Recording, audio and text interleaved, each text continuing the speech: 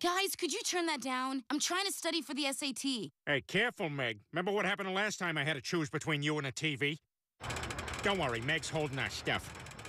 Meg!